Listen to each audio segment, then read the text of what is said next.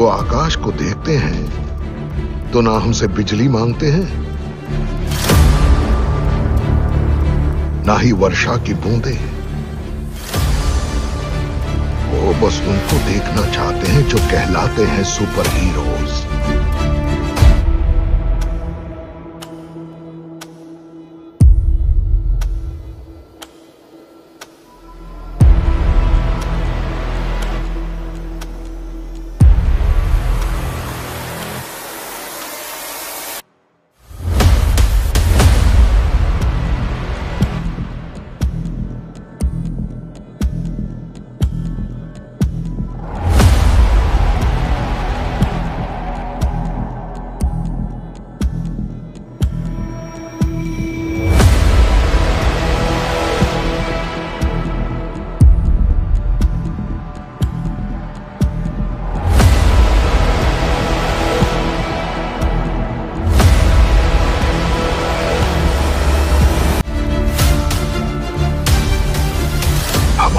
हमारा फिर से होगा उन्हें। जब थॉर ओडिनसन आसमान से नीचे गिरेगा।